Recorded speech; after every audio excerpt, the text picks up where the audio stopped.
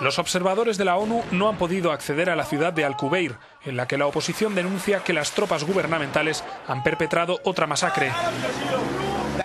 Mientras ciudades como Homs sufren el bombardeo implacable del ejército y apenas dos semanas después de la masacre de Jula, el Observatorio Sirio para los Derechos Humanos ha vuelto a poner encima de la mesa 55 víctimas más del gobierno. El Consejo Nacional Sirio dice que son 80 y entre los muertos hay muchas mujeres y niños, como los que vemos en estas imágenes.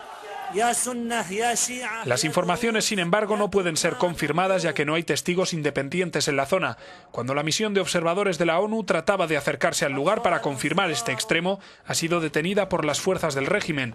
El líder de la misión, el general Robert Mott, ha explicado además que uno de sus vehículos ha recibido un disparo cuando trataban de llegar a Al-Kubeir. Los cascos azules se han dirigido posteriormente a Morek, en el norte de la provincia de Hama. El gobierno de Al-Assad niega la masacre y reafirma que los observadores tienen libertad para acceder a todos los puntos del país.